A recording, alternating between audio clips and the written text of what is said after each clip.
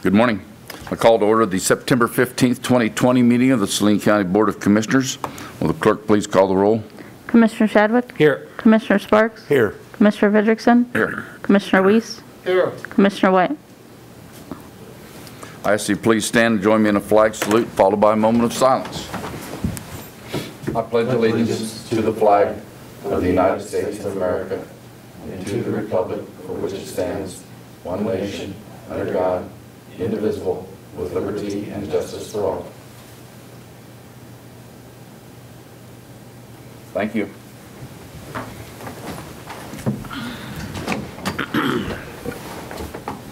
We now move to the uh, citizens input portion of our meeting where citizens may speak on county government, usually limited to three minutes, and items that are not on today's agenda. Does anyone wish to speak? Seeing no one, I'll bring it back to the commission, and we will move on to the uh, approval of uh, the consent agenda, which consists of approval of prior minutes, approval of tax roll adjustments, approval of accounts payable and payroll, and approval of public forum agenda. Are there any commissioners who wish to amend, agen- uh, remove, or anything from the agenda? No, sir. Seeing none, then I will, uh, the consent agenda will stand as approved. We'll move to action items. Uh, Item number one. RFA 208-20, KWORCC Trustee at Large nomination with Marilyn Leamer, Human Resources Director. Good morning, Marilyn. Good morning, Commissioners.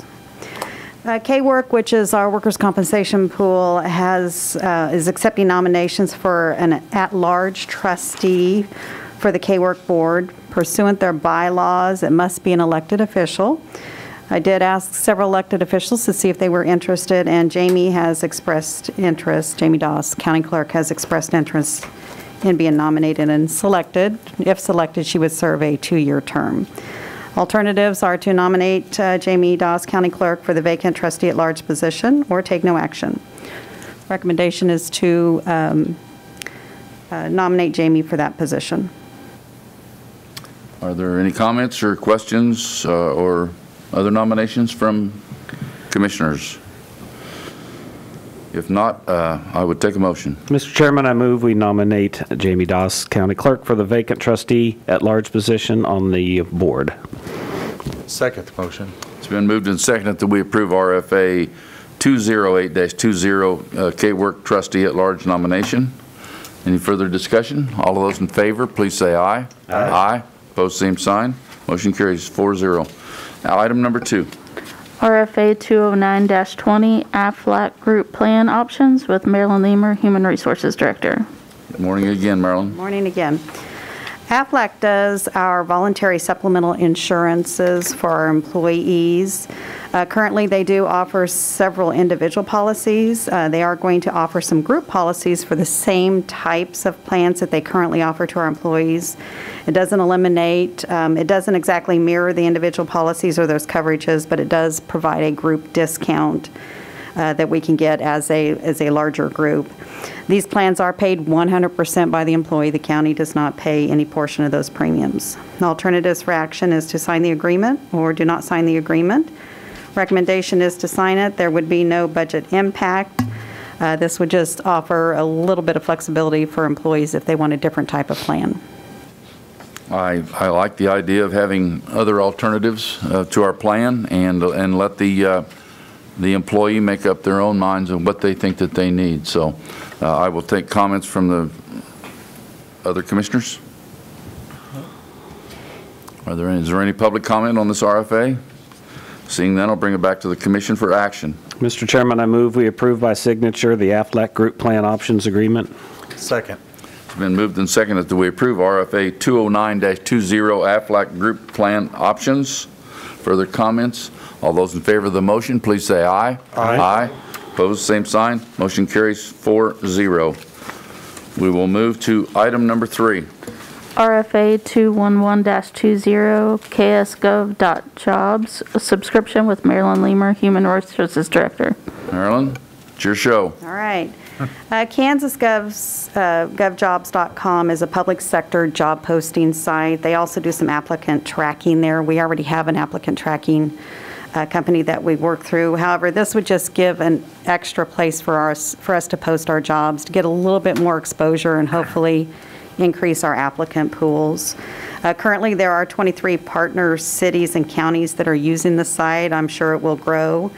Um, um, My hope is that maybe if somebody is out there looking for a job at one of our neighboring counties, they also see our vacancies um, and decide maybe it's a short drive, and and they might apply for our positions as well.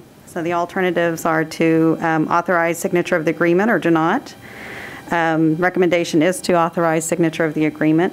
There is a uh, annual subscription fee of $600. Um, 50% of that is going to be paid from the sheriff's office budget, 25% from vehicle registration budget, and 25% from human resources. Those other two departments um, were willing to help us out in funding this. Uh, Many of their positions, uh, they have many vacancies in those departments, so they offered to help pay for part of this subscription.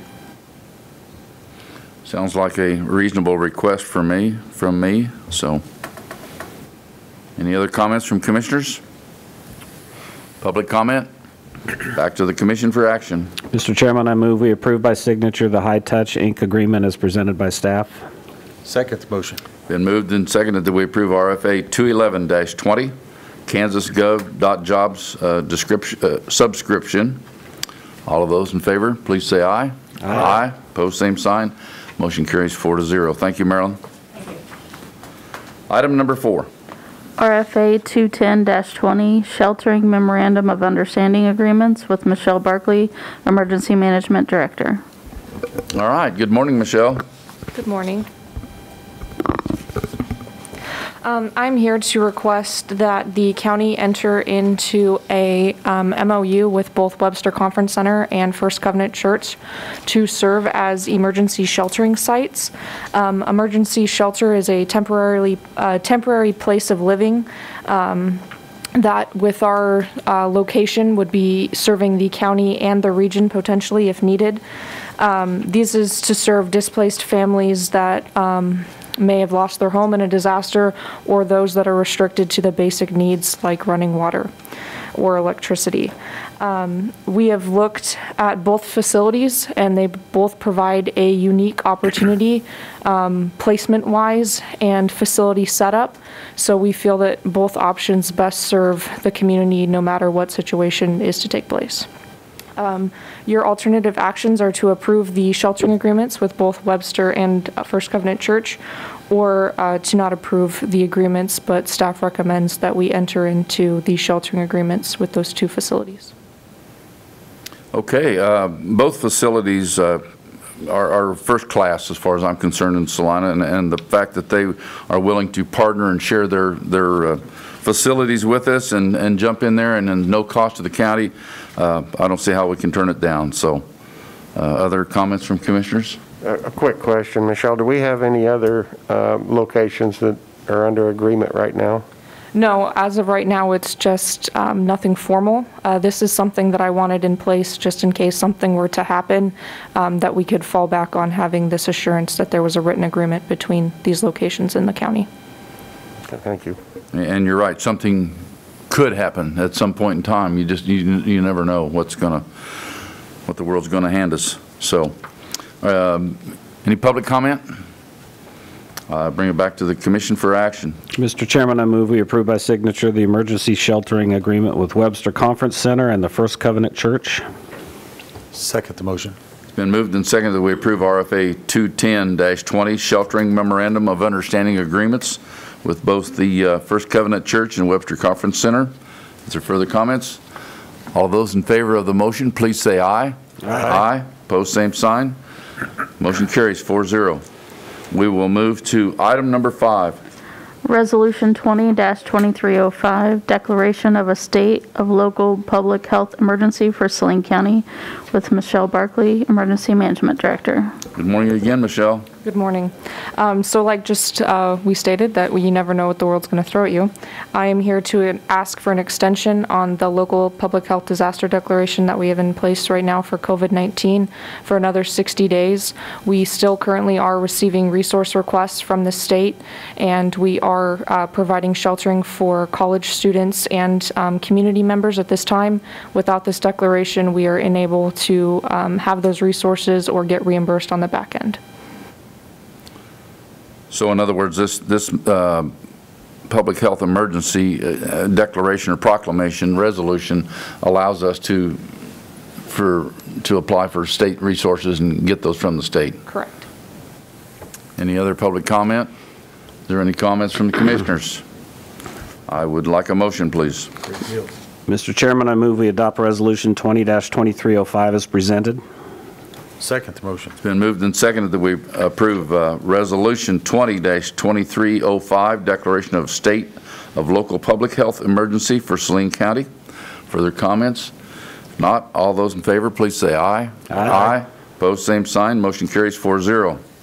Item number six, RFA 212-20, excuse me, items to declare no value with Hannah Stambaugh, Deputy County Administrator. Good morning, Hannah. Good morning.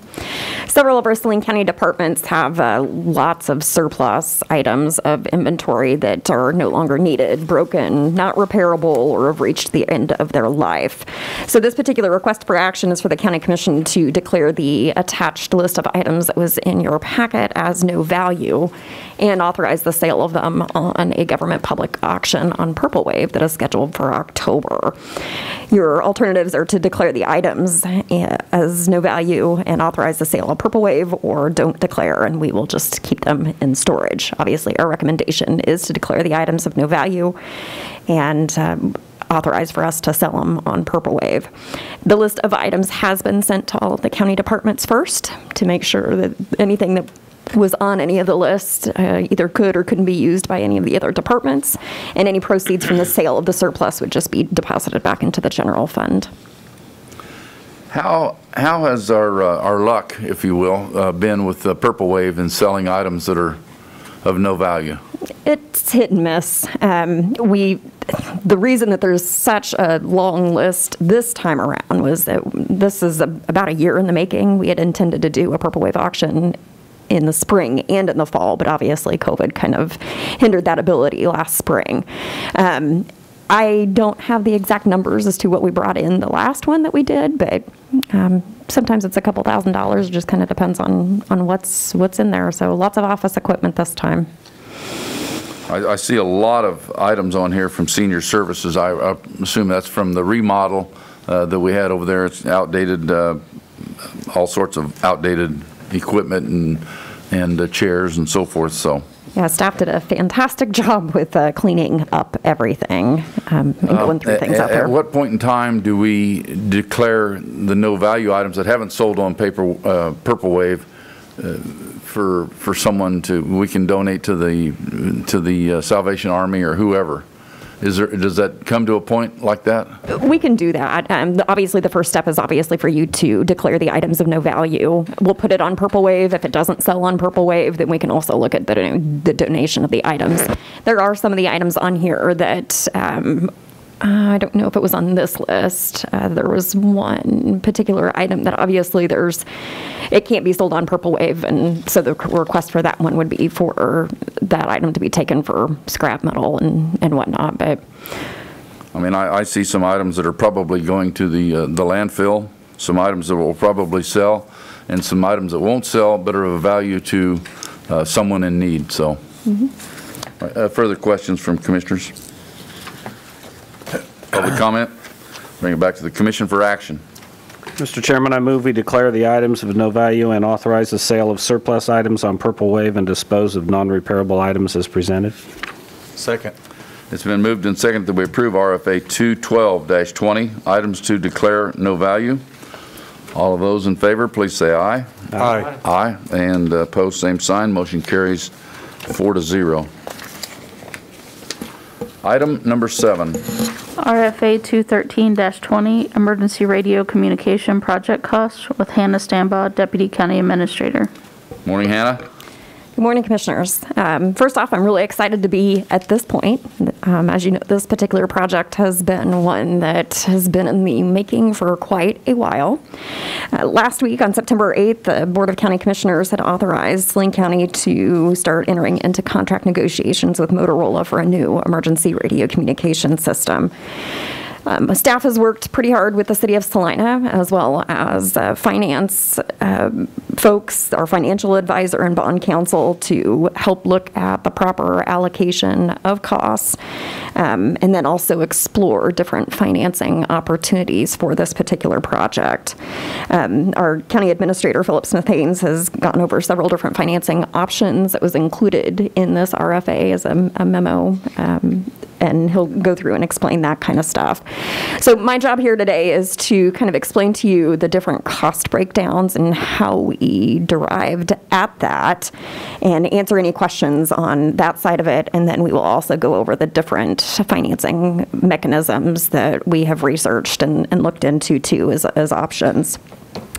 So when we, when we went through when we got the final cost breakdown from Motorola, we sat down with staff um, from both the city and the county and really looked at the detailed breakdown of it, fully well knowing that when we went out for this request for proposals, that the proposal that came back was an all-inclusive thing for both the city, the county, the rural fire districts, and some other different uh, enti- entities uh, with fire protection and the city of Assaria and Gypsum. So we went through and looked at infrastructure cost, the subscriber radios or the individual radios um, for people, as well as the maintenance costs and any other subscri- subscription costs. When we went through the cost breakdown, we assumed the responsibility of the infrastructure to be an interest of the county purchasing that. And the reason being of the fact that the infrastructure for the whole entire system is something that would benefit everybody in the county, regardless of what agency it is that you work with.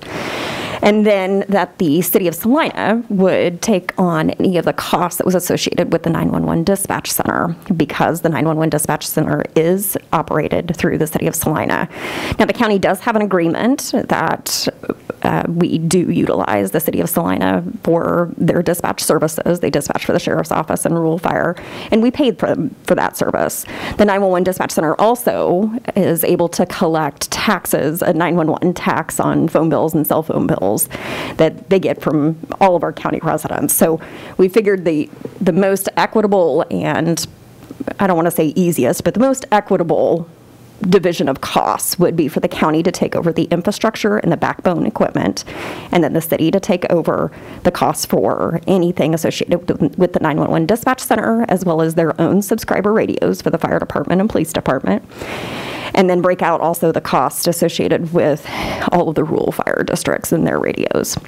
So what we came up with was the county infrastructure and subscriber radios for the sheriff's office, emergency management, and the health department to be a total of seven million forty-seven thousand nine forty-three and forty-six cents. And for the city of Salina, their total for infrastructure for the dispatch center, their subscriber radios, is two million three hundred and eighty-eight thousand four ninety and eighty-four cents. And then the total for the radios associated with the rural fire districts of 962,411 and 16 cents. The maintenance costs were a little bit more challenging to break out, but we were able to accomplish that. Um, Motorola's contract or contract negotiations allows for maintenance years one, two, and three to be completely taken care of as far as the cost is concerned. And so maintenance wouldn't start up until year four. At that point in time, years four through 15, total cost allocated for the infrastructure on the county's portion be $1,828,457.11.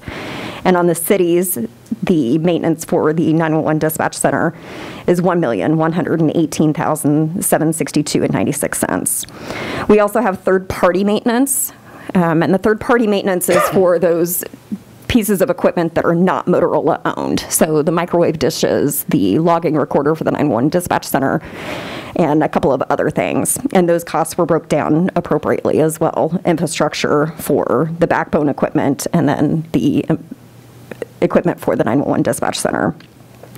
There's also some subscription costs. There is a um, uh, cell phone application that allows basically a push-to-talk type of application on a mobile device called Wave. And that is a subscription cost. We did put it right now in the county's bucket of $385,163. I do want to preface that this is a particular subscription that can be utilized by different entities. So for contract purposes, it is on the county side, but fully well knowing this is a particular yearly cost that would be divided up into different, or two different entities depending on their level of interest in, in having this particular subscription. Then we also have the asset management, and that was equally divided between both the city and the county. We both felt that that was a, a huge benefit to both entities and to share that particular cost. With Motorola's uh, negotiation and their, their potential contract, they have offered quite a few discounts and incentives. And we sat down from the staff level and really looked at how much was the county taking on and how much was the city taking on, how much of the discounts were specifically for the backbone infrastructure equipment that the county was interested, or that the county um, had broke out and how much was associated directly with the 911 dispatch equipment and looked at those different percentages and applied them appropriately and just really appropriately equitably and fairly as possible. There was also discounts associated with the subscriber radios and again felt it very appropriate to uh, take those particular discounts and based on the number of subscriber radios that were being purchased by whatever entity to apply those discounts fairly. So um, how we have it currently is a potential uh, breakdown of costs for a contract of 15 years with Motorola, with the county's share being $10,962,757.10, and the city of Salina, $3,818,150.33. So this obviously, you know, there's, there's lots of different ways that we could have looked at breaking down costs. This was something that staff believed was the easiest and fairest way of being able to divide out those costs appropriately. And again, as I said, we really looked at and used a fine tooth comb to go through and ensure that the discounts that were provided by Motorola were divided out equally. So we do have the intention of bringing a final contract with Motorola for approval by the county commission on next Tuesday, September 22nd. So this particular request for action is to provide you with what it was that we came up with as far as the calculated breakdown of costs. Um, answer any questions that you have, but ultimately getting a reaffirmation that what we have divided out is what the county commission deems is appropriate.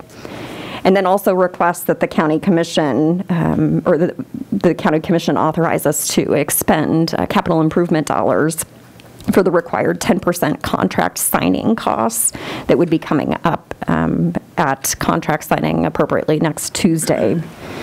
Um, So with that, there's also another large portion to this request for action, and that is the financing piece of it. But before we go into that, I want to ask if you guys have any questions appropriately about the cost breakdown. Well, and perhaps I can't see the forest for the trees here, but uh, wh- when I look at the, the city side of it uh, as using nearly three times as many radios as we have, and yet uh, the maintenance uh, and so forth is pretty much on us. They- They've got 1.4 million, and we've got over 3 million dollars in that. Well, how, how does that, Oh, I mean, what's the equalization there, or how did that, how did that come about? Okay, so the maintenance piece of it is not on the subscriber radios, not on the radios that the officers and everybody's carrying on their hips. The maintenance piece of it is on the backbone infrastructure equipment, so the towers, the microwave links, the fiber, all of the software that is associated to keep the system up and running. The subscriber radios have their own maintenance warranty piece, and that is covered for five years. After that, really the life of an individual radio is about anywhere from seven to eight years, depending. So there's, there's some cost in here associated with, you know, fine tuning the subscriber radios. But for the most of it, this is the maintenance on the backbone infrastructure, making the whole entire system work. But if the towers aren't there and towers don't have the maintenance, their radios aren't going to work anyway. Is that correct? I mean, I, I'm, I'm getting in the way here, I- I'm, I'm sure, but, uh, uh, and I know that the county is going to have more cost involved than the city, I know that, but I'm just, I'm just having trouble here, uh, with, with the level of three, 3 million versus 1.4 million. So, I've asked my question. Um, Other commissioners? I want, oh, go ahead. Roger. Go- Oh, a quick question here. uh, The maintenance on the, the Motorola only uh, has nothing to do with the radios. You, you answered that. But if we, if we're looking at this and you've got all this priced out over, for a 15-year program, but you're telling me that the radio's only good seven, to eight years, why aren't we going ahead and pricing in this? I mean, do you want to just, at the end of seven years, that when we need to start doing another $2 million of, of radios, or $3 million radios, we have to come back and look at adding that back into here? Not necessarily back into here. So this is what I will tell you, the, the, the first initial purchase of all of the, because we're going to a brand new system. We are on a UHF system now, so we, we need brand new radios to, to move to an 800 system. Even today, every single one of our agencies budget for brand new radios regardless. So that is a budgetary item that each of our individual departments, the rural fire districts, city, county, that's something that we're going to have to take into a, take into account, say, year seven, eight, nine, 10. Uh, an individual radio itself, it, I mean, it can last seven years, it can last 10 years. It just really kind of depends. Um, the biggest thing is is making sure that the that backbone infrastructure is properly functioning, and that's where all of that maintenance cost is at. Is making sure that all of that stuff stays up to date, that all the software is updated appropriately, any bug fixes are there anything associated with the towers to make sure that the system is up and functional so that those individual radios can work. Okay. And the, and, excuse me, Jim, but the, the Wave subscription, could you go through that one more time? Sure. So the Wave subscription is basically an, an app that you would put on a cell phone and basically would make your cell phone device a push to talk radio. Okay. So it certainly does offer a very cost-effective way of being able to put communications features in the hands of, say, the possibility of the schools, or even some of the rural fire districts that may not be able to purchase all of the radios at one time.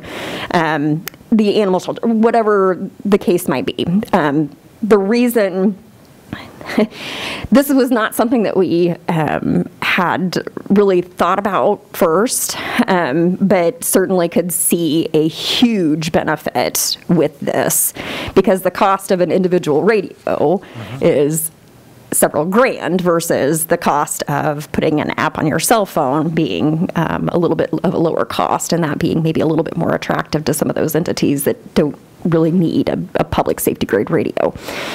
The reason that we, it's a subscription, so it would be a yearly cost. So this hundred, $385,000 is the cost over 15 years. Is this unlimited? It is limited to 200 licenses. Okay. But we also have to remember that's 200 at one time. Um, So again, that certainly gives us an, an opportunity to kind of look at where those costs could possibly be split up. So let's say um, we get in touch with the schools and the schools say, absolutely, this would be a great thing for our teachers to have or for our security staff, whatever that, that case might be. Well, what we would look at doing was, well, how, how many licenses does a school want? If the school wants 100 licenses, then we would take that yearly subscription cost and break that out 50-50, obviously. Um, So we know that there's going to be a further breakdown and not all of this 385,000 is going to be a yearly cost on the county's part. Um, It's just, we haven't had those conversations with those different entities yet to really figure out the true breakdown. The other thing that is probably to be kept in mind is that uh, the maintenance agreements and the subscription services will not go into effect until final system acceptance. So the whole radio system has to be built out first. We have to sign the agreement saying we accept it. So we're not looking until probably February-ish of 2022 before these yearly maintenance costs and subscription costs are going to come into play. But they are a part of the overall contract price. Okay. Um, a couple questions, and you might have already answered one, but I might have you expand on that.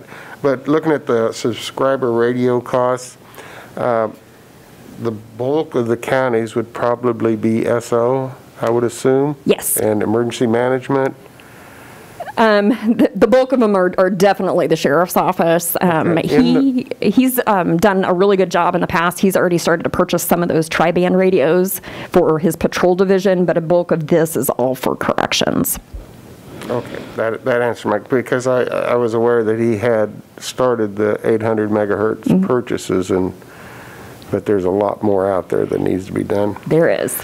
Okay, going back to your, um, um, and, and along that line, the, the rural fire, um, every, every district probably has a different budget, and uh, some will be able to absorb this, they've planned for it. There might be some out there that, that aren't, aren't able to attain this. Uh, When the system goes up and running, or are they just, will they just limit the number of radios instead of every man carrying a radio? It might be every squad carrying a radio, or every truck company, or is, is that the plan? Well, I, I can't speak for each individual's district's plan. Um, what we did do is we divided out the cost because each rural fire district told us how many radios it was that they thought that they needed. And I think some of them, really in all honesty, shot on the low side. Um, but they're trying to be a, a little bit conservative. Um, we have sent those cost estimations to each one of the rural fire districts, and the intention is is to bring all the rural fire district chiefs together so we can look at that in a little bit more detail and talk about it, and talk about it from an operational standpoint. Um, and that was one of the thoughts that came about was okay, maybe not every guy gets a radio. Um, maybe we assign two radios to each truck, or depending on how that works. But that will be an operational decision at the district level. Okay, and, and the, the Wave subscription would also be something that they, that they could buy into and do it in a cheaper way than what they would a radio? Absolutely. Can the Wave subscription be expanded from the 200? Yes. For it- more money, you can go 300, 400, if, if the need's there in the, in, in the community? Yeah, absolutely. Um, actually, the Motorola representative that we talked to about Wave, um, he had mentioned, he goes, I have a feeling that you'll probably go through your 200 licenses pretty quickly, and you'll probably need more. There will probably be uh, maybe Salina Regional or some others that, that have a need, uh, so, okay. Mm-hmm. Yeah, I, I I like that Wave uh, subscription part of it. I think that really gives, uh, gives some flexibility to some other entities as far as emergency communication. Absolutely. Hannah, I, I know that we're going to get more into the, uh, the how we're going to pay for it part of it here in just a second. But uh, if I'm understanding correctly, the budget will not be impacted until 2022? Um, So there are going to be some budget impacts um, for 2021, um, but as far as the payments for maintenance and the subscriptions, some of them won't occur until 2022 um, with the actual system maintenance because years one, two, and three are covered under the contract. That particular maintenance period won't start until, that yearly maintenance cost won't start until 2026. And you said there is some cost in 2021? That is correct. And do we have that budgeted? So that's a perfect transition. Thank you, Mr. Chair. So um, there's two things that the commission needs to consider today. One is whether you agree with staff's proposed breakdown of costs between Saline County, the city of Salina, and the rural fire districts. The second piece is obviously how do we pay for this? And so as uh, the commission's aware through the budget process, we have started putting money away. We put $600,000 in the capital improvement program for the current year, 2020, and also for 2021. And we based that number of $600,000 on an assumption that we would be lease purchasing the bulk of the system and figured that over about a 15 year period, based on what we knew about costs at the time, the annual payment would be in that excuse me in that $600,000 range. So, um, once we got the costs back from Motorola, the costs that you've seen today, we met with our bond counsel and financial advisor, both of whom are are present here today as well, uh, to talk about some options. And the first thing that came up was, hmm, you know, a, a traditional lease purchase might not be the best option. And there are a couple reasons that that might be the case. One is because we are um, purchasing the system jointly with the city of Salina, a bank might have some conceptual difficulties with what their collateral would be on a lease purchase. And in order to protect themselves, they might jack up the interest rate a little bit. The second difficulty is that Motorola um, unlike some of the other vendors, uh, weights their costs very heavily on the side of services rather than physical goods. So their um, their cost for a subscriber radio is X, but their cost for installing programming, etc., is basically um, about 50% of the total cost of.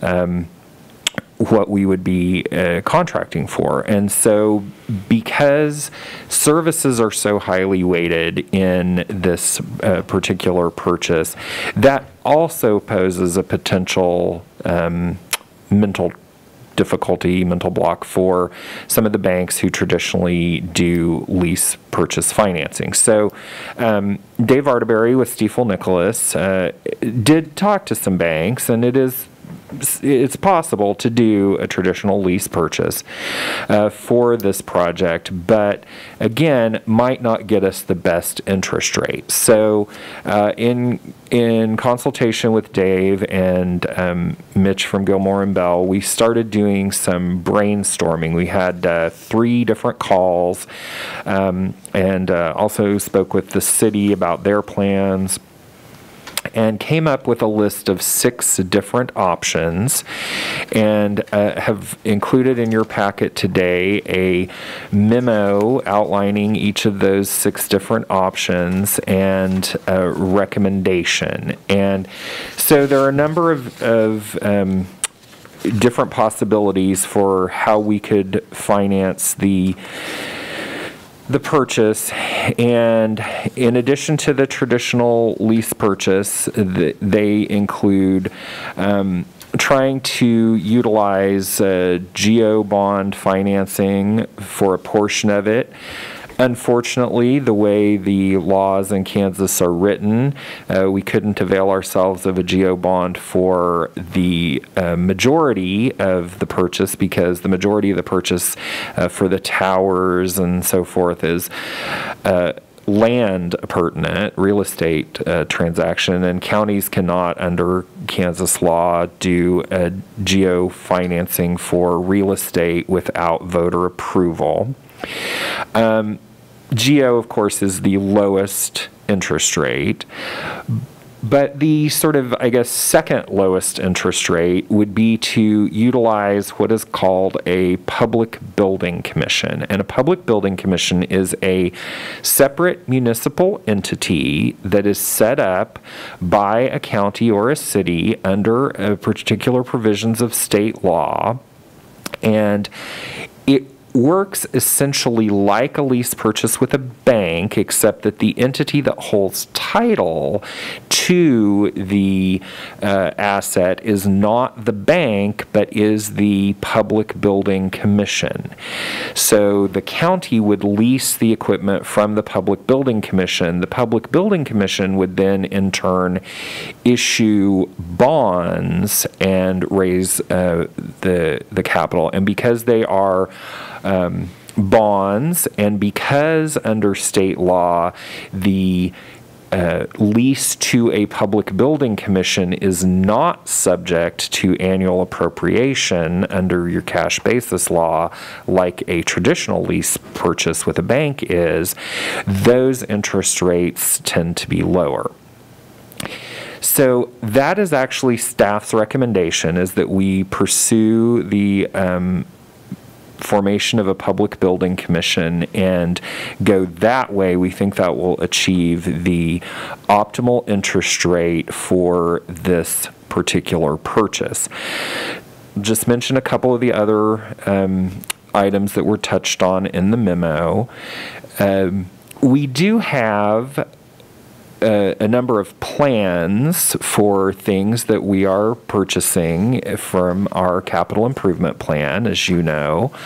Um, we have uh, items for the senior center, for road and bridge, and probably our biggest planned expenditure from capital improvement program is improvements at the expo center. And so we have quite a bit of cash in the capital improvement program at the present time. One possibility would be um, to do a bit of a shell game and pay for the radio project using a lot of that cash and then um, potentially finance something like the expo improvements.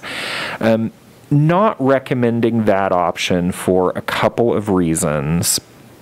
One is that uh, we started to get concerned about the drawdown of cash in the capital improvement fund.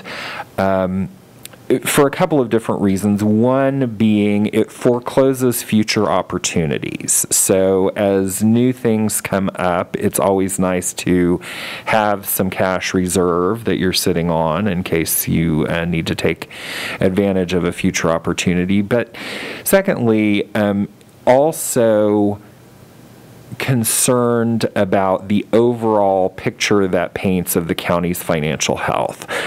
One of the great things um, that we have going for us in terms of a credit rating on bonds, such as the potential bonds for a jail project, is the fact that we do have a, a good deal of cash. In fact, um, more than 30% of our uh, annual budget um, that we have in cash reserves. And so that would be looked on very favorably by credit rating agencies in, in terms of bonds that we might issue, as I said, um, such as the jail. And so drawing that amount of cash down uh, could uh, affect our credit on other uh, other projects. So um, I'd be happy to answer questions about any of the options, but again, the recommendation from staff is to pursue formation of a public building commission uh, and utilize that. And um, as I said, both um, Mitch and Dave are here as well to help me answer questions that I might not be Well, the first, most um, expert for. do we need to act on part one of this? I mean, we've dove into, uh, we we scurried right past part one, and now we're into part two. Do we need to act on that part one first? uh, uh, Before we start asking questions on part two? Do we need to approve the part one first? So, um, staff will be asking for you to approve, uh, you know, both, uh, parts of this. So there are two potential motions, um, for the commission to consider this morning. I don't think it makes a particular difference what order if you want to have discussion, if you feel like discussion on part two would inform your vote on part one, or if you want to go ahead and act on part one uh, before we moved into part two, I think that would be acceptable as well. Uh, I'll, I'll ask my other commissioners, do you, do you want to just get, I guess we can wait and do the whole thing at once, or we can do the part one and authorize. I think we're going to be in favor, I mean, the way I'm hearing things, we're going to be in favor of part one, that's for certain, that uh, the county's share of the costs associated with the project, um, and, and take care of that part of it. I think we're going to be in unison there, I think. I have a couple questions. Well, in, in regards to that, that, or? Correct. Okay, go ahead. Uh, You mentioned that there will be expenditures in 2021, with the bulk being in 2022, but in reading this document, there's also expenditures in 2020 of 700,000? Yes, so as I mentioned earlier, we do have 600,000 set aside in the current year in uh, capital improvement uh, for this project. Um, We would need about 704,000, so about 104,000 more than we originally anticipated. Um, But of course, as I mentioned, there's plenty of cash in the capital improvement fund, so we would seek authorization from the commission to go ahead and expend 704,000 for this purpose from capital improvement in the current year. Okay, and, and no matter how we, how we act on part two, on part one, my question would be, uh, would uh, procuring uh, uh, bonds for the radio system impact the uh, jail bond issue if that comes up? no, Well, David, uh, uh, step there. I- I- Again, though, I would like to get part one off the table before we start asking questions on part That- two. That is about part one. How are we going to fund part one is what my question is. And I thought he answered that with the 700,000 and the capital improvements, or am I mistaken? I- I'm, I- I'm very possibly mistaken. I, th- I thought we were looking at doing part one with bonds, but Okay, so um, the first part of the discussion, the first item for the commission to consider is whether you agree with the breakdown between the county, the city, and the rural fire districts. So that piece sort of is independent of, of the second piece, which is how you pay for it. I I guess what I would, what I would like to do is uh, go ahead and, and act on part one and get it off the table, and then everything will pertain to the financing portion of it. I'm, I'm ready for that also, um, so I will make a motion. Mr. Chairman, I move we affirm the county's share of the costs associated with the project and authorize the expenditure of CIP funds to execute the contract. Second motion. Yeah, uh, All right, it's been moved and seconded that we approve part one, which is, uh, as, as the motion states, are there further discussion? question, we're, we're uh, enter- entering into a contract, but it's yet to be decided how we're going to pay for that. I, that might uh, change my, my vote if, My, my motion is that we affirm the county's share of the cost. We are not signing a contract. Yeah, it just, uh, I, I think I could clarify that. Um, Today, we're just talking um, about a financing plan, and there are two pieces for the financing plan. One, what is it that we're financing, and two, how is it that we're financing it? But this is not the actual contract. The actual contract would come back to you next Tuesday for action. Um, So this is just, this is a little bit theoretical this week, but we wanted you all to know the costs and, and the plan for dealing with those costs before you had an actual contract in front of you. So I hope that helps. I guess that sort of leaves us, Jim and I, both in, a- in a little bit of a quandary because we're, we're, we're approving an RFA here for this, and yet you're saying that's not what we're really approving. I mean, that's, I hear it, but I, as our, as our agenda is, is uh, printed here, I mean, I, I'm for getting part one off the table, but it doesn't mean anything, is what you're telling me. It doesn't necessarily mean that we've approved it. Well, it, it means that you approve that breakdown of costs. Um, Once we bring a contract to you, we will bring you that a, a contract with that breakdown of costs. Okay. Because if you had, we would like to know today, before we bring you a contract next week, if you want us to go back and renegotiate something different with the city, right? That's, that's Okay, the then- the and I'm important part that. for that. And then also, we would like to know, before we bring you a contract, that you're comfortable with how we are proposing to pay for it as well. So that's, Now, w- once we get to that, that $700,000 that we were talking about paying would come off of the 10962 and take that bondable number down? Is that correct? Okay. Correct. And I, I'll, all right, I'm, I'm gonna stop there. I still got another question here, but we're gonna, we're, we'll go from there. Uh, I see a question from our audience. Please come to the uh, podium and state your name. And Mr. Chairman, uh, Mitch Walter with Gilmore and Bell, Bond Counsel to the county. I just had one brief comment to the $700,000 that's uh, under discussion for the, the initial cash payment.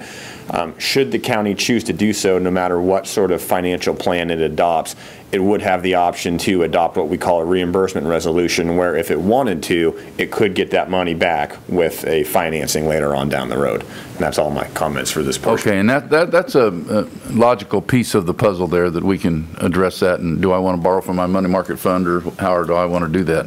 So, uh, so we do have a motion on the, uh, the table and a second to approve Part One, which is the- affirm the county's share of the costs associated with the project and authorize the expenditures of CIP funds to execute the contract. Uh, Based on the comment we just heard, do we need to exclude the CIP funds, or does that still need to be in there? no, because we'll still need to expend them up front. Okay, okay. All right, are there further comments or questions? All of those in favor of the motion on the table, please say aye. Aye. Opposed, same sign. That motion carries on part one, uh, uh, 4-0. Uh, My comment, uh, based on what you've said so far, is I don't want to get into a Bank of KDOT deal where we're we've set aside money for one project, but we're going to take it and move it to another one. I, I don't want to do that. I mean, I want to keep funds moving and then not tell the Expo Center, well, we're not going to do that all of a sudden. Or the city, which we have a contract with the city to do those things. So I think we need to leave that money in place for certain. So um, I, I'm for keeping costs and expenditures and money for a project in that project's um, portal and keep it right there. That's, that's. Ag- Agreed, and that's why that's not staff's recommendation. I just wanted you to have all the options, so you're aware that that was an option. Not trying to hide the ball, but that is not staff's recommendation. Staff's recommendation is to move forward with formation of a Public Building Commission, which would be for this project. Okay, also you said that there was six options? Is that, did I hear you right? Yes, correct. But, but our mm. sheet only shows four, or is there something? So in the memo, there are six options that are detailed, and then there are four that are summarized on that chart. Okay, I'll, um, I'll be quiet for a minute and let, let you talk to us.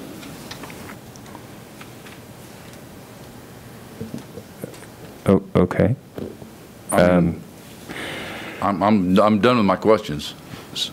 Okay, so do you want me to go through the six options? I'm, I'm open to whatever other commissioners want to hear. It's fine by me. I believe you touched on, You've already went through those. Uh, I, yeah, I, I didn't go through them one at a time, but I did summarize them. But I'll just r- reiterate, so the, the first option would be traditional lease purchase financing. The second option would be um, utilization of a public building commission. Um, The, the third option would be to try and um, finance a portion of it utilizing the GO bond. Um, The fourth option would be to, um, to, uh, sorry, I'm getting them. Private mixed up. placement lease, maybe? use of government obligation bonds. Oh, yeah, the, the, the, sorry, the third option, the second option would be the Public Building Commission. The third option would actually be the, the leaseback bonds. And so I can go into that a little bit in detail. The fourth option would actually be the use of the GO bonds for uh, the non-real estate portions. The fifth option um, would be to um, finance other improvements such as the expo. um, And then um, the, the the final option would be to sort of um, as I say in the memo, do a little from column A and a little from column B. So to use a portion of cash and then draw down the cost of a lease. Um, the one that I didn't touch on earlier is the, the leaseback bonds or certificates of participation. And so um, that is also an option that is available and would um, essentially work like a lease, but um, would involve a public sale rather than placing them with a particular bank. And because it would involve a public sale, could be expected to generate a slightly lower interest rate than a traditional lease. Um, lease purchase with a bank, but um, still would likely be a, a slightly higher rate than um, a public building commission because it would still be subject to the annual appropriation clause. Well, my apologies uh, for asking that question again, but that, that's, that's why when we moved from part one to part two without ever acting on to part one, that's where I left the ball on the table. So I, I do appreciate and, and remember all of the options that you were giving us in the first place. I just didn't associate it with part two as much as I have, so. uh, Other uh, questions or comments? Do we need to hear from our council, bond counsel people or anything else? Uh, I think, yeah, I'll just say it. Uh, David Arterberry with Stifel Nicolaus. It's a pleasure to be here. I think um, Phil did an excellent job of um, putting together these different options, and I know there's a lot of them. Um, In in Kansas, uh, counties um, are somewhat restricted in how they can finance large capital improvement projects or equipment acquisitions. So sometimes it's a matter of looking at um, sort of a a whole bunch of different ways of doing things that might not be uh, all that straightforward. It's not, not as nice and neat and clean as just being able to issue general obligation bonds for the project. You have to drill down into these um, little bit more esoteric options. And I think Phil did a really good job in his memo of, of laying those out. Okay. All right, thank you for those comments. Uh, If, if there are no further questions from commissioners, go ahead, Monty. I do. So, under all this, if we do the building commission, the building commission still has a lot of options on how to finance. I mean, we're not saying just one, one way, right? If we do the building commission? Typically, a public building commission would issue bonds. That's how they um, raise their capital because they don't have taxing authority. Um, They are a separate entity, but they don't, um, well, like I said, they don't have taxing authority, so they issue bonds subject to a contract with, in this case, the county, where they would own title to the asset and lease it to the county, and their revenue stream for paying back the bonds that they've issued is our annual lease payment to them. The reason investors like that is because that lease obligation under state law is not subject to annual appropriation. And so that drives down the, uh, the interest rate on those PBC bonds. Do we know who would be on this building commission? No. So what we would have to do if we were pursuing this, if, if the commission agrees with staff's recommendation to pursue this option, we would have to come back with formation documents, and that would include the composition of the commission and um, an appointment of members to it. So it has it is done different ways in uh, different uh, jurisdictions around the state. There are some places where actually the Board of County Commissioners serves as the Public Building Commission. You just, uh, you know, adjourn as the commission and reconvene as the Public Building Commission and, and do it that way. There are other places where um, they're public members that are appointed, that's completely separate from the county commission. You take your expression of interest forms, you pick three or five financially savvy people in the community, and they serve as your public building commission, and it's totally divorced from uh, the county commission. And then there are some places where it's a mix, where there's some county commissioners on there and some public members, uh, sort of like how we do our um, uh, building authority.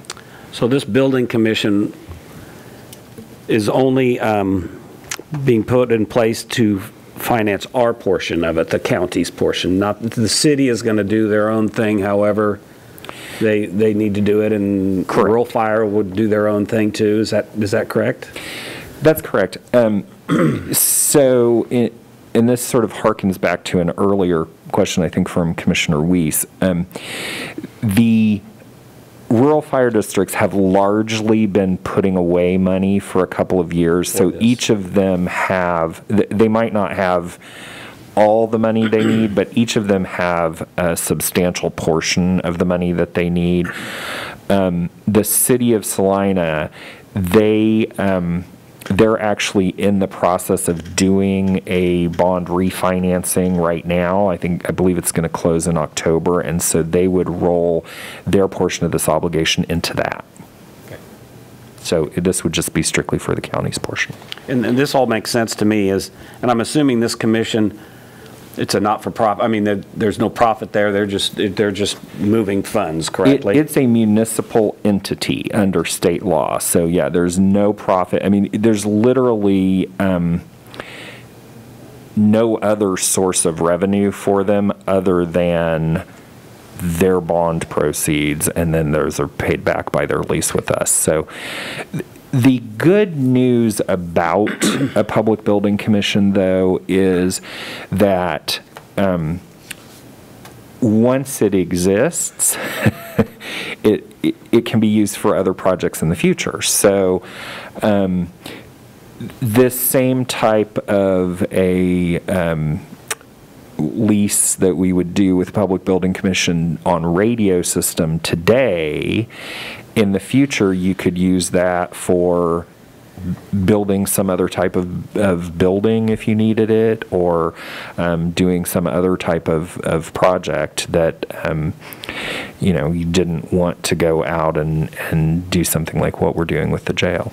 And would our legal counsel be part of this, or do we go to outside legal counsel to form this, somebody who's probably done this many times? So it's or- typically bond counsel. Okay. And so one of my big questions when we had our conversations with bond counsel and financial advisor was the speed with which this could be done because, um, uh, you know, in part one, uh, Hannah talked about the time frame and um, hoping to uh, really enter into a lease by the, or uh, sorry, a, a contract with Motorola by the end of this month. And so, um, certainly have the cash to to do the first payment on that, but then when the the second payment comes due, we'd need to have a vehicle in place, you know, a lease or something to to make those payments. And so um, we had a conversation about that, and they assured me that yeah, within a, a three month time frame, we could put all this together. On a, on a public building commission, um, is this something similar to other, other um, uh, advisories that we have that we don't have to take their advice? I mean, we can, I mean, does the commission still has to approve it? Uh, Do we have the, the right to say, no, we're not going to take that advice and move on? I mean, is it, is it binding? Um, so I will say yes and no. Um, you, so it, it is formed, and then it enters into an agreement with the county for the project, right? Once it enters into that agreement, so, so you can, um, you can decide not to do that. You can decide not to enter into that agreement. E- even if the entity is formed, you can decide, okay, we're, you know what, we're not going to do it. We're going to go back and do traditional lease financing, and we we're just we're done with that. But once you enter into that lease agreement, then it is binding for the term of that agreement. Okay, I, I buy into that, but I don't want to be the one sitting up here making the final decision, uh, and yet have someone else make the final decision for me. Uh, You know, I- I'd like to have that option that I can opt in or opt out, you know, of what we're talking about. If that, if I'm making myself clear there. Go ahead. Yeah, I mean, so you- like I said, you can, uh, you decide whether to enter into the lease, but once you enter into the lease, it is then binding for the term of that lease. You cannot do an annual appropriation with the Public Building Commission like you did with a traditional lease purchase. Thank you, Mr. Chairman. Uh, Am I understanding your question to be in, in sort of a big picture control over this Public Building Commission that we're talking about, the creation? So how we would typically set up these, the, the documents and, and the creation of the Public Building Commission is that the members of the Public Building Commission, whether they be members of the commission or some other members of the community, serve at the pleasure of the county commission. So in that sense, if you have sort of different agendas, then it's the agenda of the county commission who ultimately controls who sits on that public building commission that will um, win any sort of uh, um, disagreement between the two bodies. So, uh, you know, um, with the rules of majority. Okay, that's, that's making it clear for me. But The thing that I'm trying to stay away from is say we appoint a building commissioner with no commissioners on it whatsoever. And then five citizens, uh, or bankers, uh, whatever it is, whoever they are.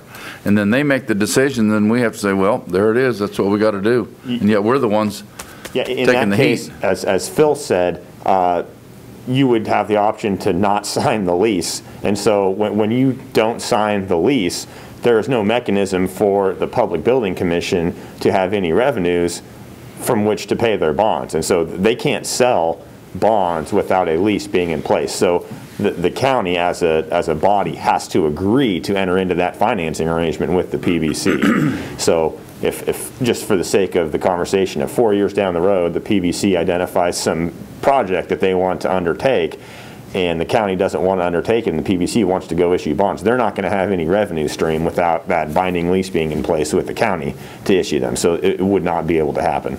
Okay, all right, I'm, I'm clear then.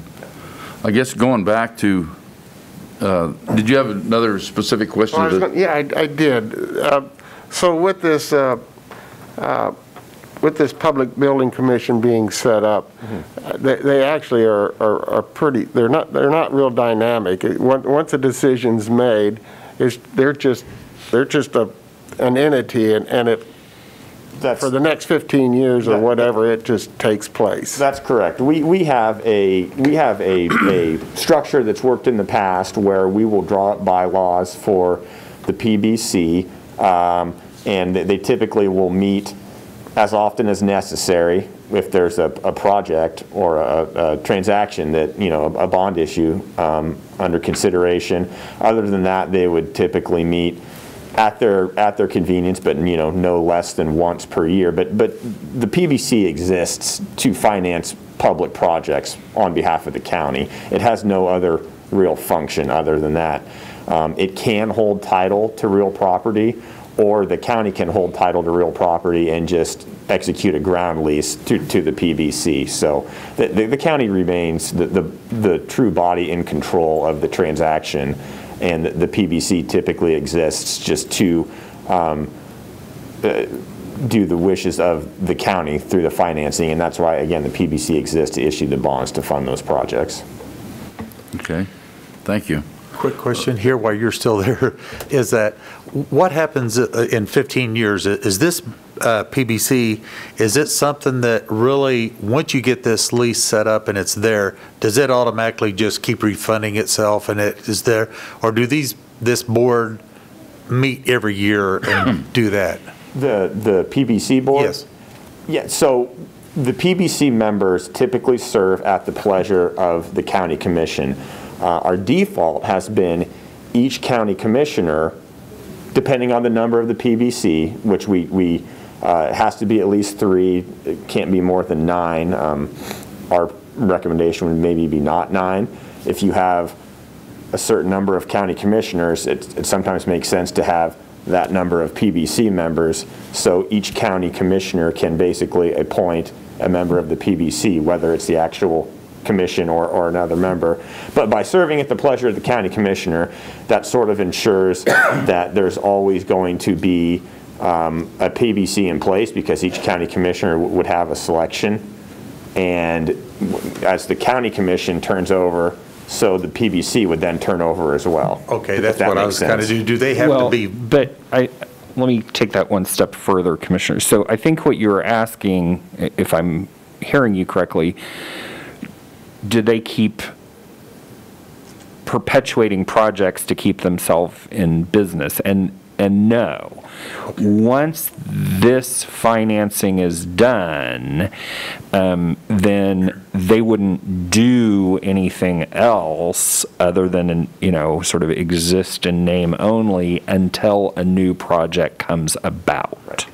okay, because my concern was is that over a 15-year period, the commissioners are going to change and possibly those board member, or those members are going to mm-hmm. change. So it just happens. And, and that does happen time to oh, time. If, if okay. you have, a if you have three members on the PBC, it's, you know, not regularly meeting because there are not, no current projects, then there would just be new members that would be reappointed by the current county commission if, if a project were to That's surface okay. in the future. Thank you. Yes. Thank you.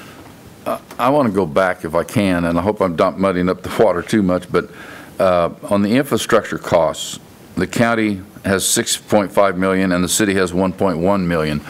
Just like we have a city-county building authority, of which the county is 60% in control of the members and the city is 40%, is there supposed to be some agency on here overseeing this? Or is that what this, No, the proposal, um, and you'll, this, you'll see this next Tuesday, the proposal is actually a three-party agreement between the city, the county, and Motorola.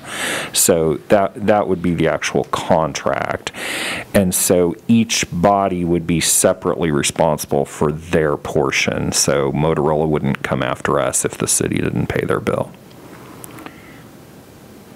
and, and if there is maintenance, okay, the maintenance is covered down here. So, okay, I'll let that, we'll get back on track here. Are there further questions or uh, comments from commissioners? I, I,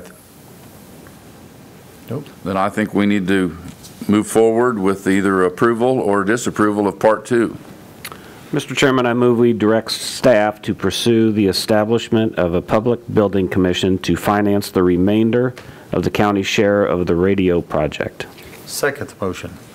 It has been moved and seconded that we approve RFA, Part 2 of RFA 213-20, Emergency Radio Communications Project Costs.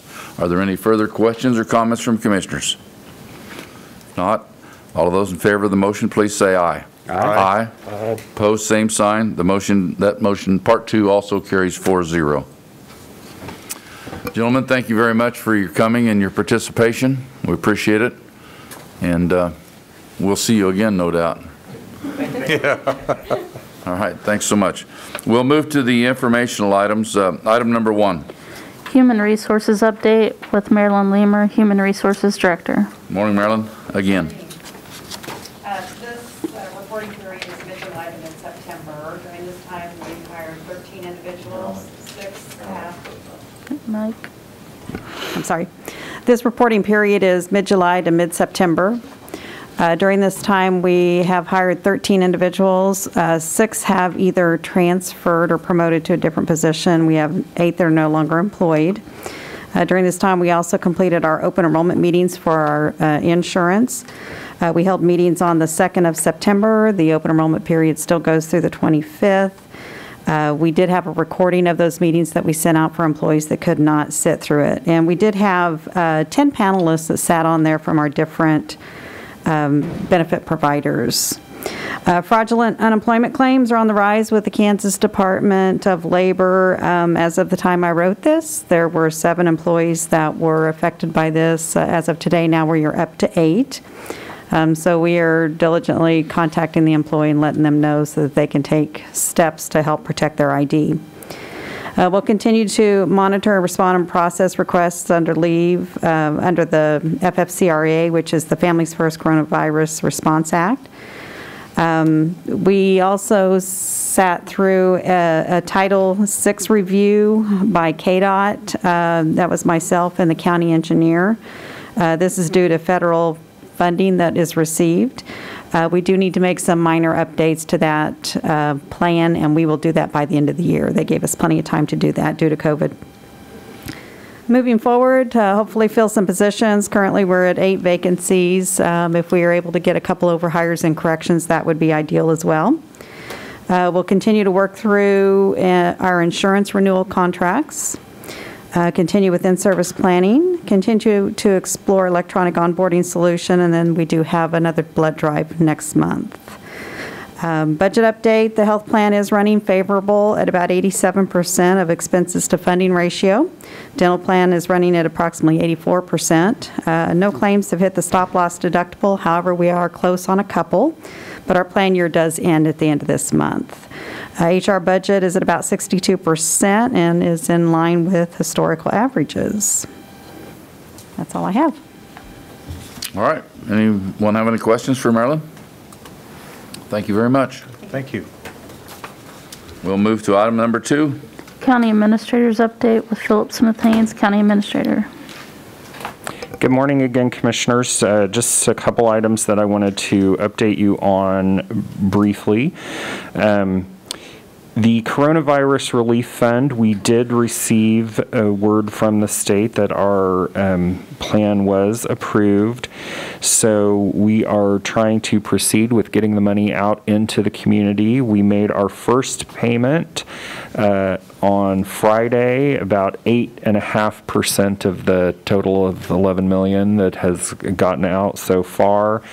Um, Last night, I did issue a memo to all of our uh, agencies that applied for funding to talk about the process and anticipate having uh, the first account payable for your commission to approve next Tuesday.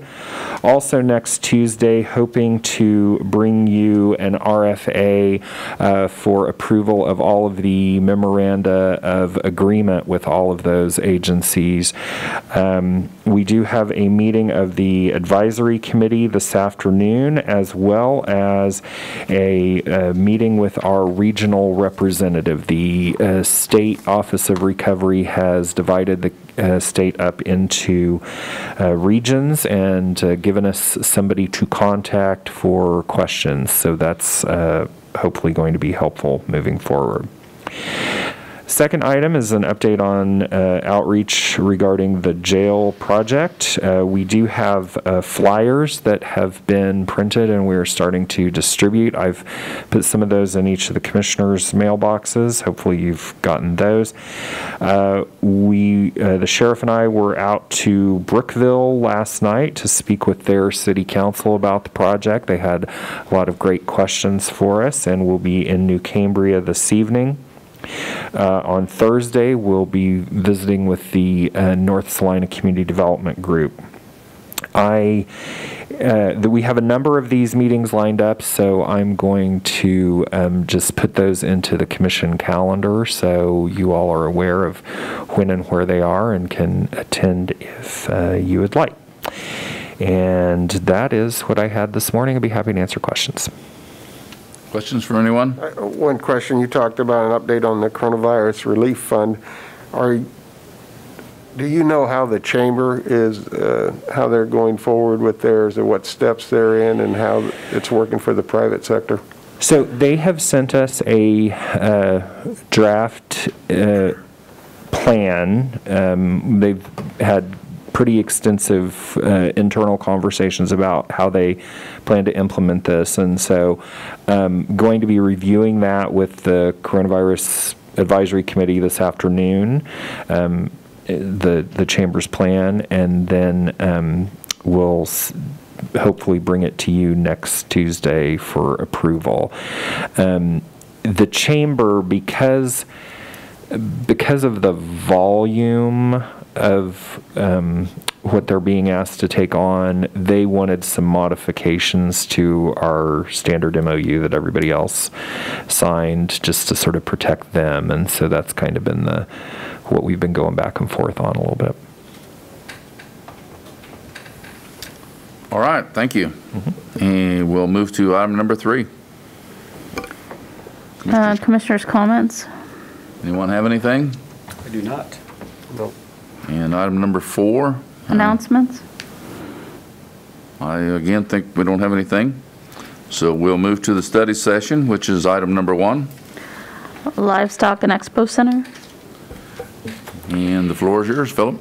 Uh, Thank you, Mr. Chair. So um, just wanted to have an opportunity to have some conversation with the commission and not asking for any action at this time, but just uh, some dialogue. Um, Rick Lamer, our Convention and Expo uh, Director, Livestock and Expo Director, has um, announced uh, that he is going to be leaving us next spring, and so we will be needing to uh, replace him. And so, um, wanted to get a sense from the commission if uh, there were particular changes to the job description that you were interested in, um, how you see the um, the process rolling out uh, in terms of um, you know commission involvement and selecting somebody. You want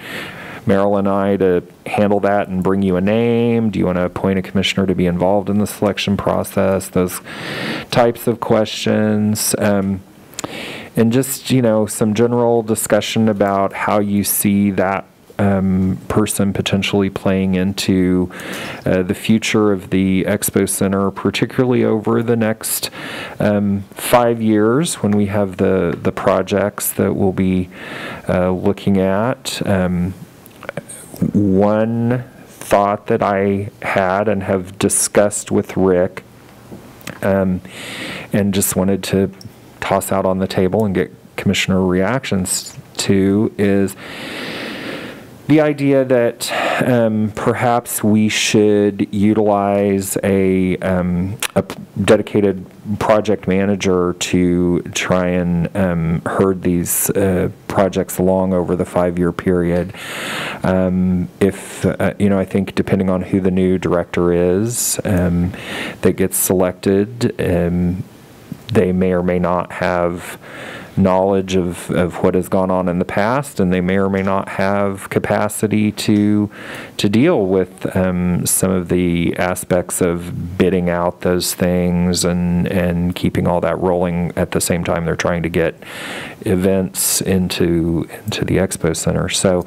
Um, you know, that's certainly a, a process that we've used, like at the senior center. Um, Rosie has a, a person who's kind of been managing that, and then similarly, uh, on a much much grander scale, uh, we've certainly used that approach um, with the jail project as well. So, just get uh, commissioners' thoughts on whether we want to pursue that same sort of thing for these projects, or whether we need to concentrate on on hiring somebody who has that kind of capacity. So, Well, you know, to, to address the first part of that, and that is, should the commissioners be involved in, in uh, hiring a, a new director? Um, You know, we've, we've kind of been all over the board on that um, in our four years. Sometimes we've been involved with hiring a, a department head, and sometimes we haven't. And uh, I don't know, at the very most, uh, we should be involved in maybe the, the final just to, but, you know, finding someone and interviewing and all that process should fall on um, HR and, and you're the boss, you know, of the county. That's, that's the way I see it. And others might not see it that way. Uh, Maybe we could sit in on the final two or three finalists or something like that, because, you know, we've, we've, like I said, we've been all over the board on it. We've been involved, we weren't involved much on the engineer, um, you know, human ser, um, the senior services is a different story, and, and someone else, we've been involved in it all the way, so I don't, I don't know, I'd like to hear the other commissioners' thoughts on that, but day to day and hiring and firing is up, up to your departments, I think. So that's where I feel on that. Do you have a comment, Marilyn? No, I would, I would agree. We've done different processes, and, and we can certainly pre-screen the candidates and do some pre-interviews and come up with a short list for commissioners if that's what you decide. Anyone else? That, that makes sense to me. Um, Again, you know, say you get 20 applicants, you know, I'm not so sure that I'm the right person to go through all those. I'd kind of trust you to weed through that, but I, I, um, Mr. Chairman, I do believe that, that we probably ought to be part of the last two or three. And you know. that's kind of where I've, you know, or at least in terms of review and make a recommendation, and then you guys can go forward from there. Okay. I mean, I, I've seen this firsthand at the KAC where a board of 20 is involved in, uh, in the final selection, and, and it becomes pretty gooey. So, Mr. Chairman, I, uh, uh, it- this is a hard time for Rick to be leaving us because the Expo Center is going to start really taking off and, and moving forward where it's been pretty stagnant here, wa- waiting on this, uh, on this contract with the city. Uh, I think there's some merit into when, when looking for someone uh, to um, oversee the Expo Center, that you get the best person for long-term that is an expert or can handle that portion of it. But with the other things coming on, the uh, construction and all that, uh, that could muddy the waters if they're directed to, to find someone with, with that type of background, but might not be that strong in, in managing an expo center and promoting it. So I see merit into going outside and getting a different entity to, to overseeing some of uh, the projects and uh, the construction and, and that, and not putting that so much on the, the, uh, this person that's going to be hired, Both- even though both- he would oversee that. Yeah, both great points. Um, And I agree, Commissioner Weiss. I mean, we, if we try to roll one person into that, I think you're narrowing down your, ba- you know, who, who we could hire. Where if we separate that, you maybe have a lot of people here and a lot of people there. So I'm in total agreement with you on that. that, that brings to me another question. Why, why are we not uh, going forward immediately with, with some of our renovations? Why, why are- why are we not starting with that process of getting some bids or, or uh, getting that ball rolling?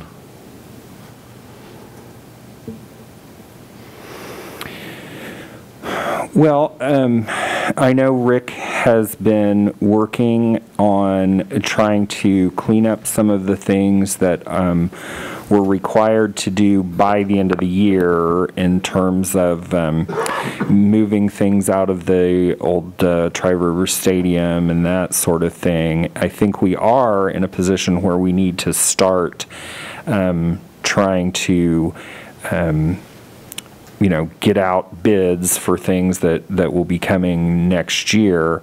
Um, uh, you know, I, I just, I think that, um, frankly, that the contract got signed and, um, everybody sort of breathed a sigh of relief, but this is the time to pick that back up. So point well taken. Okay? Mr. Chair? Uh, Quick question here is that, here, uh, you know, we kind of use, like on the building authority, we're using the architect to do the management of the construction around the building here. At the road and bridge out there, at that new building, we use the architect as the manager there. And I'm, I'm going, why here, and I just want to ask, is why can't we use the architect as that type of person there, or- or, and I, other thing, when you mentioned over here at the senior center, I I mean, I didn't remember us, or did we even uh, hire a project manager over there? That's also an architect. There's Okay, a- that was, they, they used the architect as the, okay, that's, I, I- when you said that, I Yes, assumed so, that, but I so you're absolutely correct. I mean, it very well could be an architect. Um, We don't really have an architect under contract currently for the Expo Center project. We had an architect that we worked with Mm-hmm. in the past regarding the design of um, potential improvements and the, um, the uh, horse, what am I trying to say, that uh, arena? Warm-up. Warm-up arena, yes. Thank you, Commissioner. Um, brain, yeah, senior moment there. But, um, so we did have somebody that we worked with. It could be that person or it could be someone else. Um, but we just, we just don't have anybody on, under contract at the current time. But if the commission is amenable to that, I mean, we will move forward with getting someone. And I think that would be the first step towards, um, you know, as Chair Vidricksen said, getting this under, underway. Well, you know, right now, and that's why I'm, might go back to my question, why aren't we doing it now? We have the guy in place, and that's Rick Lamer. We still have, he's still going to be working here for another seven months. The more we can get done in that seven months' time with his expertise and his management, the less we are going to need an architect who is going to be expensive. And uh, to me, with the type of projects that we've got going on, and I don't see how we need an architect to tell us that we need to replace windows. We already know what we need to replace. We already know what building needs to come down. Uh, You know, when we get those, that high-priced project manager, I mean, that costs a lot of money. And in my opinion, that's not the, not the way to go. And that's why I want Rick and and his staff right now to get on this and get moving. They don't have a lot of projects, or a lot of uh, shows going over, on over there right now. Get these, get these things out for bid, and let's get it started. And I think Rick, Rick is highly capable of handling that. Who we hand, who we hire next, as Monty and, and other commissioners have absolutely pointed out, that person may not have expertise in running an expo center and being a project manager at the same time. Rick Leamer has that expertise, in my opinion. And I think we need to light that fire and get it moving. And seven months down the road, there can be, the project, while the project may not be completed, uh, we could sure have it in place to, when to get started and, and who's going to do it. And Rick's the guy. And that would save us, I mean, I don't see how an architect would take it on without a minimum of a ten or twenty thousand dollar fee right off the top. So, that's, that's my opinion. Okay, Commissioners, we'll go ahead and uh, try to fine tune the job description for this position so we can start looking at what, what the commissioners want for that particular department and, and update that job description and, and bring that before you and make sure it's the same vision that you have. Okay? I guess I just have one other question while we're talking about this. So, and Marilyn, you have more of this history than I do, obviously, but the um, noxious weed, I just want to confirm that we want this to continue to be a combined position because I understand that in the past, these were two separate things and then it It's, it's two separate positions right now. It used to be a combined Okay, position. the other way. Yeah, we had a a livestock and expo center that was also the weed supervisor. And when Rick took over as the livestock and expo, we separated that out, and we have another individual that is the weed supervisor. And to add to that, that supervisor of the noxious weeds is not doing noxious weed spraying and then so on and so forth throughout the year. So then he becomes uh, an additional employee for the expo center, an additional, someone who can, can uh, jump in and help, you know, if you see what I'm saying. I mean, David Flaherty is the noxious weed director, and a good part of the time uh, that he, throughout the year, he's not doing a doggone thing with noxious weeds. He's at the expo center working. They're, they're, I think if you took a toll or a, a poll of, of, um, noxious weeds directors, uh, you'd find out that mm, a good part of their daily chores is nap, taking a nap. Yeah. Throughout the year in the wintertime. Uh, Not that ours does that, because No. he doesn't. He's over at the Expo Center filling in and working and, and, you know, serving a second position. So I just wanted to confirm that the, that, pro- that way we have it divided right now is Well, working uh, for the commission and, Quite frankly, I don't know if we're the ones to ask that. I mean, Rick Lamer uh, knows all about it, and I think, you know, that's, that's another part of his expertise that, uh, and, and- and David also, you know, that, uh, that there's a time during the season that uh, noxious weed director has got to be all over noxious weeds. And there's a time that he needs to be helping at the Expo Center, or can help. So, My question is, uh, and it's uh, similar to what we did with our, uh, with our planning, uh, I I would, I would want advice from, from the administrator and HR whether, whether we need that separation, whether the job could be combined back if, if it's, if you're only spending part of your time um, in the operations of noxious weed, maybe we can, maybe the uh, Expo uh, director can wear that hat also. I, I I would, I would like some, some history and some input from the two of you if, if that could be done. I agree. I would, I would think we could have a conversation with Rick, with his history in the department. He has seen it both ways to see which is the most efficient. And to take your thought further, Commissioner, I mean, can, can we look like we did with the planning director with neighboring counties? I mean, is there, is there some job sharing that you can do? Just, just to look at it, I don't know if that's the answer. And that or is, a- not. that is a good, good thought to look at that, but, and I just want to go back a little bit, because I remember years ago where the weed department used to be out at the road and bridge.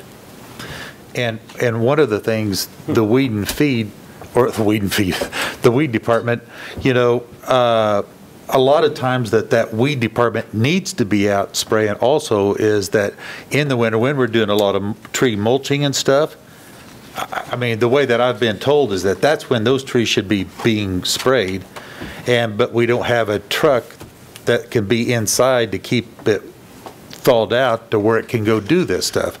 So, I mean, we're, we're sitting here and we're talking about some of the other things, but I, I think it could be a lot busier at certain times of the year than it is. Well, as far as co-oping with, a- with, a- with another county or entity, uh, I think the only issue there might be when this re- weed department is busy, that weed department is busy too. It's kind of a seasonal thing. Uh, So Yeah, I I don't, point. I don't know. It's like combining or co-oping emergency management. When, when Dickinson County has an emergency, Saline County's probably got one too, then it just doesn't work that way, so I, I don't know. But I would But it's- sure, sure want to respect any input you folks could give back to, to the, the I- need. I think all of those comments and all of those questions are pertinent, uh, but I, without a stamp of approval or recommendation from Rick Lamer is, and, and David Flaherty, that's, that's where this conversation needs to go next step. All right. okay, well, I appreciate the feedback from the commissioners. We just wanted to know where to go with this, so thank you. All righty. There you- Can Go I ahead. ask one more thing? Uh, We have a a Fair Board meeting tonight, and I know it's come up again about, and I know this, this commission has talked about uh, the displacing or the moving of the uh, bleachers and the panels. And I was wanting to know, is there any more thought about that? Is that about uh, giving that or to the fair if they want it? I, I thought we were done with that. I thought we had, well, we haven't done, made the final decision, but that has been our feeling all along, was to donate that material to the, uh, uh, to the Tri-Rivers Fair and Rodeo, was to, Yeah, I believe in conversation with Rick, I believe he intends to bring an item to, the- an RFA for, you know, d- disposal of those items, um, once he hears from the Fair Board a f- sort of a firm yes, that they want to take possession of them. And that's, the- that's, the the and that's the reason why I wanted to say, ask that again, because the Fair Board, and, and speaking with them again, is that they're kind of waiting for the commissioners to say, okay, yes, we are giving it to you, or donating it to you. Well, I think you can safely go to the, uh, the Fair Fair Board. Board and tell them that the county and commission uh, will, will probably donate that stuff to them if they so wish, but they need to, to, we need to know what their intentions are too. I I This think there is was the some two-way question street. of whether they were going to enter in a contract with the city as far as, And that's in, that's in the stadium. works, yeah. But that still needs to come in an RFA, you just can't Yeah, verbally right. don't, you Exactly. can't verbally It- it- donate well, something. Yeah. O- Okay, so it is okay to go ahead and voice tonight at the meeting that, that, that could be donated to them? That it- that If, if they're looking for it, uh, the, but it needs to come through, through the proper channels and through Yeah, the okay. proper process to. All right. uh, If they make a request for that material and Rick brings it to us, uh, I'm guessing that we're going to give it to them. Okay. I All think right. that's a Good, good okay. decision. Thank you. All right, is there any other business? If not, I'll take a motion for adjournment. So moved. Second. Been moved and seconded, we adjourn today's meeting. All those in favor say aye. Aye. Aye, pose same sign. We're Thank you. adjourned. Thank you. Uh,